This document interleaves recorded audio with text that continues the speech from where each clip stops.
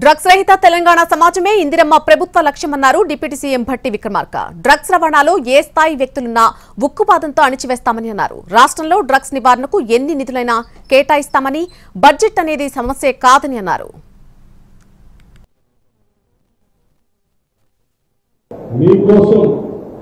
మీ భవిష్యత్తు కోసం మాదక ద్రవ్యాల నిరోధన కోసం అత్యంత కఠినంగా ఉండటానికి నిర్ణయం తీసుకుందని కూడా నేను చెప్తా ఉన్నాను కమ్ వాట్ మే ఇటువంటి ప్రక్రియలో ఎంత పెద్దవాడు ఉన్నప్పటికీ ఎటువంటి వాడు ఉన్నప్పటికీ కూడా ఏ మాత్రం ఉపేక్షించుకున్న అత్యంత కఠినమైన నిర్ణయాలు ఈ రాష్ట్ర ప్రభుత్వం తీసుకుంటుందని చాలా స్పష్టంగా రాష్ట్ర ముఖ్యమంత్రి గారు మరీ మరీ చెప్పవని కూడా నాకు చెప్పి పంపించారు.